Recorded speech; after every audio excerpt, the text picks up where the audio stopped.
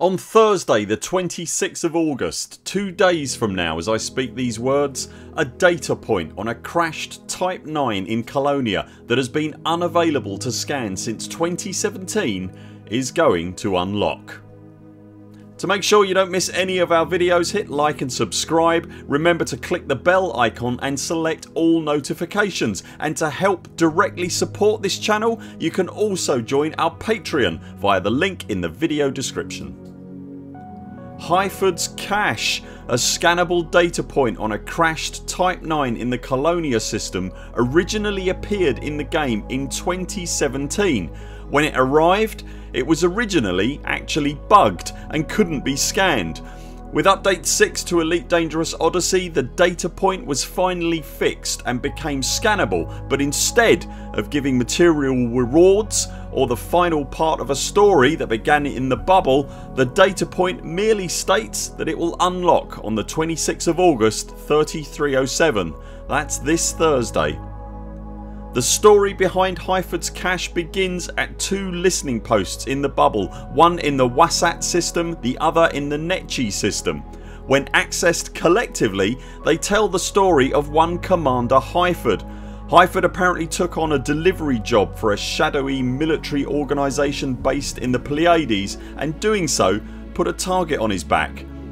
The details are sketchy but there's a paper trail you can follow on the Elite Dangerous wiki that talks about Hyford delivering occupied escape pods for an organisation monitoring alien encounters and technology that is performing experiments on the contained individuals.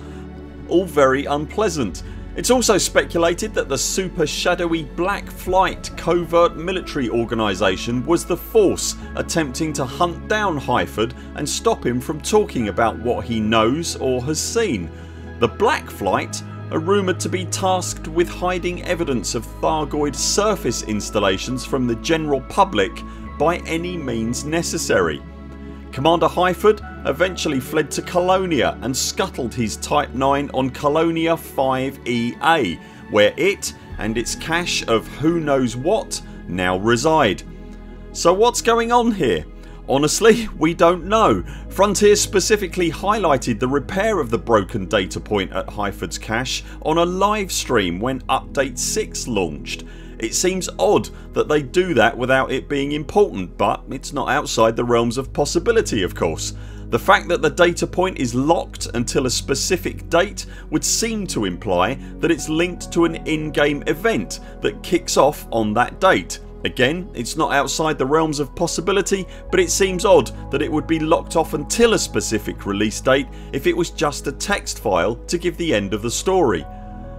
The storyline running through the game at the moment concerns a mysterious individual calling themselves Salvation.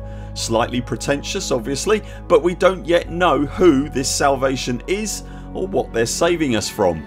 Could Salvation be Hyford ready to spill the beans on what he's found out or could it be completely unrelated? All possible.